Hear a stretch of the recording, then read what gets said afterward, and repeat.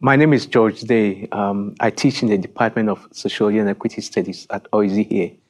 Um, I think for me, education is more than simply going to school. I think the question about what we learn uh, in school and how we use that knowledge to improve upon our own lives, the lives of our families, our communities, I think is very, very important in this. And this is why we can go to school and not get education. And I think uh, the education that is relevant, that helps us to deal with some of the challenges that we confront every day in our lives, I think is very, very critical. Uh, so to ask ourselves, what are we in school for? What is the type of education that we are getting and receiving? And what are we going to do with that education? How are we going to apply it in everyday life and improve the lives of, of communities?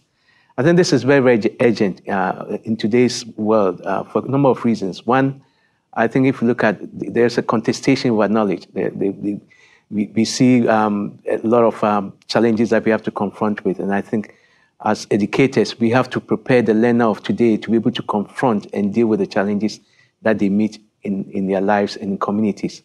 Uh, I think it's also urgent because um, for far too long, certain bodies of knowledge are not usually discussed or talked about in the school system.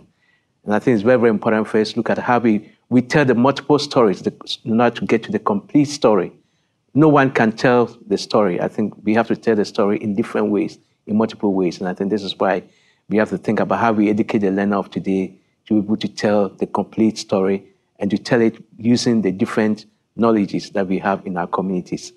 Uh, I think it's also important that we work across boundaries. Uh, I don't think we need to be in our own silos.